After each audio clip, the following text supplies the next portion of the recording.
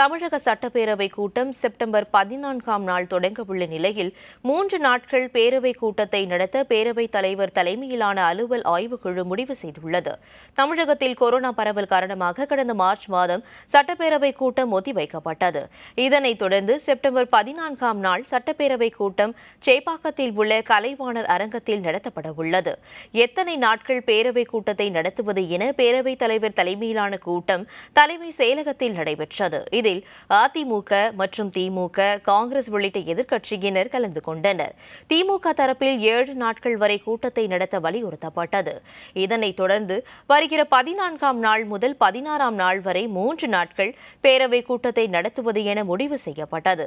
சட்டப்பேரவையில் கலந்து கொள்ள உள்ள சட்டமன்ற உறுப்பினர்கள் அனைவரும் எழுபத்தி இரண்டு மணி நேரத்திற்கு முன்பு கொரோனா ஆய்வு செய்யப்பட உள்ளது. அதிகாரிகள் பேரவை காவலர்கள் செய்தியாளர்கள் உள்ளிட்டோருக்கும் கொரோனா ஆய்வு நடத்த நடத்தப்பட உள்ளது பேரவை கூட்டத்தில் கொரோனா சிகிச்சை முறைகேடு மரணங்களை மறைத்தல் உள்ளிட்ட பல்வேறு விவகாரங்கள் குறித்து எதிர்க்கட்சிகள் கேள்விகள் எழுப்பும் என எதிர்பார்க்கப்படுகிறது.